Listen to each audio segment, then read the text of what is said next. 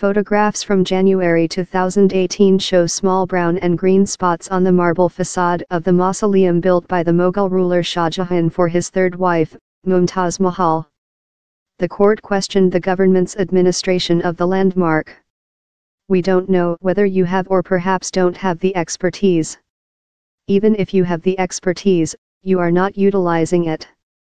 Or perhaps you don't care, said the judges of the bench, according to local media.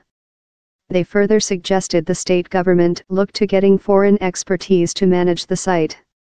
In a case that has worked through the court for more than three decades, lawyer MC Mehta argued that air pollution from surrounding industries has corroded the Taj's white marble walls and other historical monuments nearby. In 1996, he won when the court ruled that many of the industries surrounding the monument must be relocated. But it was an empty victory, as Mehta has had to continue to argue the case in the past two decades to ensure that the judgment is carried out. Preventing degradation is a constant battle. Yellow pallor pervades the entire monument.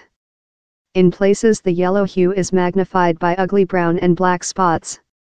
Fungal deterioration is worst in the inner chamber where the original graves of Shah Jahan and Mumtaz Mahal lie, said the petitioner. In recent years, the Taj Mahal has suffered at the hands of insects that breed in the swampy waters of the Yamuna River, which flows behind the monument. The river has become highly polluted in recent decades. Indian media reports say that the insects leave behind a green residue, perhaps their excreta, which must be treated annually. The organization overseeing the Taj Mahal implemented a three-hour time limit in March on all visitors to prevent overcrowding.